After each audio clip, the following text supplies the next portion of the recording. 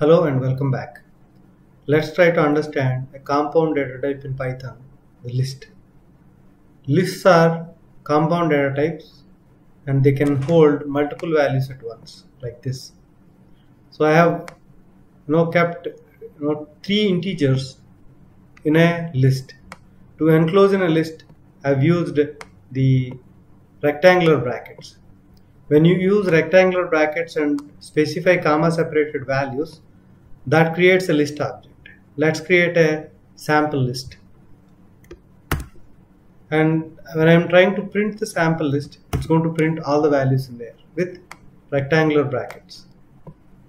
So if I try to do type or use type method to see what is the data type of this object, it will output list.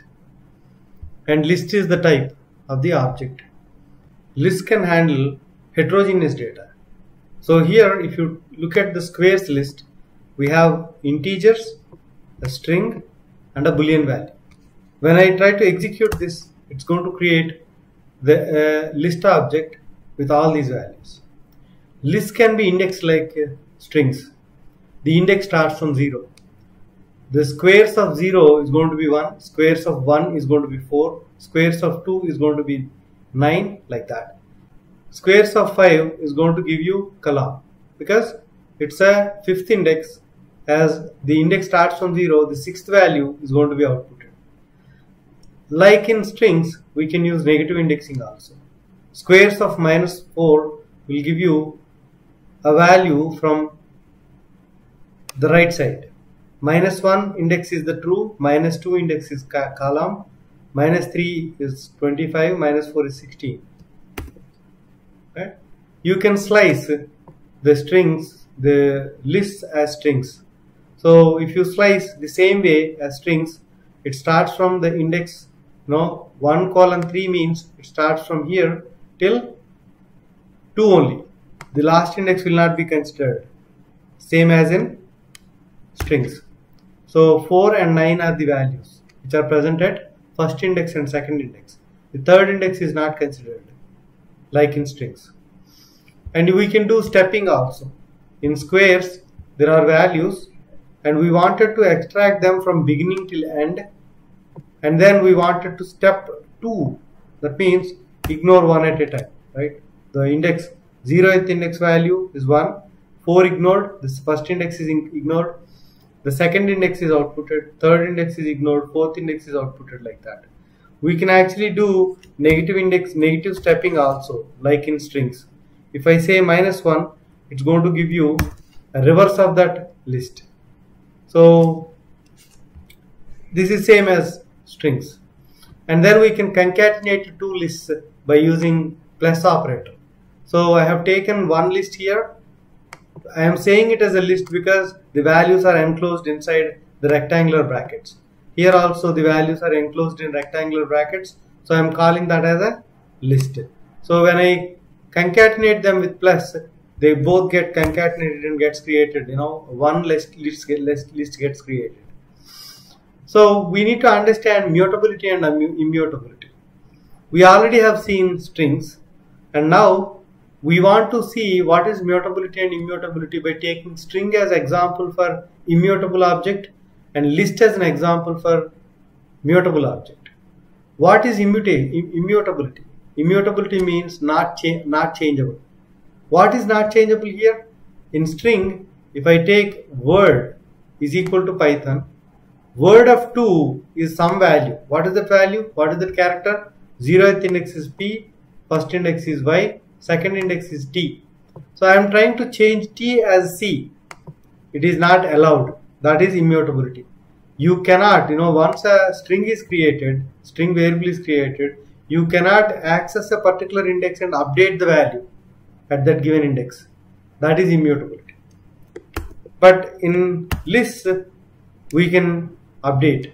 See this, when I try to update the value at second index, it throws an exception saying that string string object not support item assignment. So but in squares squares is a list here. I created a squares list here. And I'm trying to update a value at fifth index. What is the 15th fifth index value? Column I'm trying to change that value to 36 it accepted, right? So when I try to print it, column got changed to 36. I have taken another list of cubes, 1 cube, 2 cube, 3 cube. This is wrong, 4 cube is 64. So we have to update that. To update it, we'll take cubes of 3, the index 3, 0, 1, 2, 3 and I have taken 4 star star 3 that means 4 cube. If I use only one star it is multiplication. If I use double star it is to the power of. So the value got updated. So lists are mutable, strings are immutable. We will touch upon this mutability immutability concept again in dictionaries and keys, keys of the dictionaries. So that's about uh, uh, the, the lists and uh, slicing and indexing. We have got API for lists. What is API? Application Program Programming Interface. Application Programming Interface is present for many of the open source languages or other languages also like .NET. So what is Application Programming Interface is the Python interpreter was built by somebody and the lists, tuples, dictionaries and other methods and packages and the uh, classes were built by somebody else. So we wanted to know what exactly is present in there. So here I am using a method append on list. Cubes is a list. I am using append method to append a, a value 216 at the end of the list. And again after appending 216 I am trying to append 7 cube also to, to, to the list. Let us see what happens here. When I execute this and try to print, I've got two more values, two more new values, 216 and 330, 343. Right? Two values got added. That means the append method is adding values at the end of the list.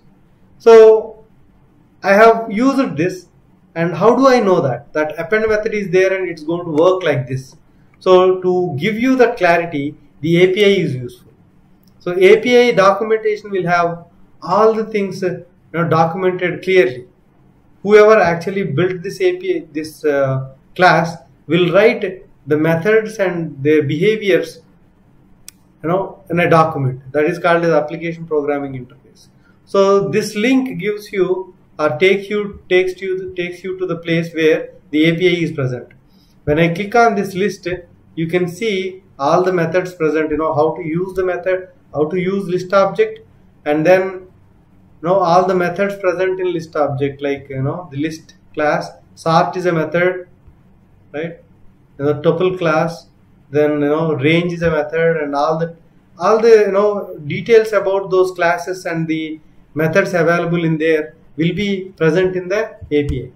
So if you want to explore more on lists and try to practice more, you can actually look into the API and look at the methods and use them or practice them. Why do you need API and why do you need to look into these methods? This is all boilerplate plate code. When I say boilerplate code, if you write a code multiple times in a project, we call that as boilerplate code. We can actually write that one, you know, that block as a method and keep it at a place or a function and keep it at a place and use it.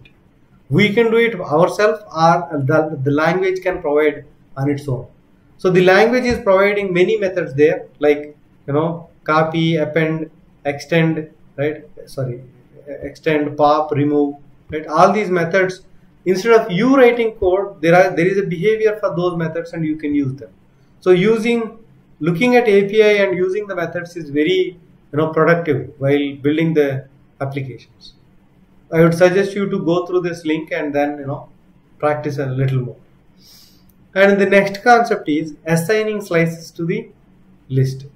If you look at this list, I have taken a list of characters A, B, C, D, E, F, G, and then and then I am trying to look at a slice from 2 to 4 0 1 2 3 right? So 2 to 4 is C and D okay? So I am going to update this C and D with PQRS right? The PQRS is a list again and I am trying to update a slice with a list the slice I have taken has got only two characters but the list I am updating is having four characters. It will actually update. See that? It actually updated the CD with the PQRS. How is this happening? Let us see. Let me take a screenshot. So if you look at a list, the list is going to be like this. A, B, C, D, E, F and G. So there will be links assigned from you know backward and forward both directions like this.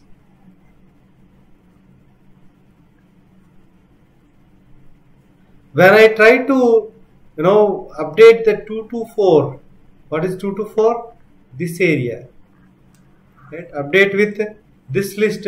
What happened is it actually broke the link here and it took this list P Q R S.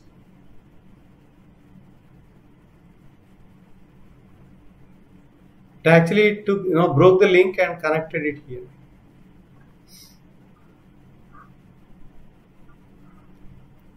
So these two are gone so we have got this no? The new list where we have updated a slice CD with PQRS another list. Okay? That's how it is happening. So you can actually remove a slice 2 to 5 you, if you want to remove you need to update uh, with a blank list. Okay? And you want to see all the items in the list you can actually do the slice or you can just print it. Or you can update the whole list with a blank list like this. Nested lists. Nested, nested lists can be created like this. So a is a list and n is a list and then x is enclosed. You know the a and n are enclosed in rectangular brackets. It became a nested list. So to access value in there we actually need to use double indexing so there is 1 and 2 so this is 0th list and this is first list. And in that first list we have we want to access the second value 0 1 2 that means the 3 is 3 is going to be the output. Other way of creating list is you can use list constructor and pass the you know, rectangular closed values like this and create a list. Or you can create a list an empty list by not passing anything to the list constructor once after creating the list you may you can actually append values to the list. Lst3 dot.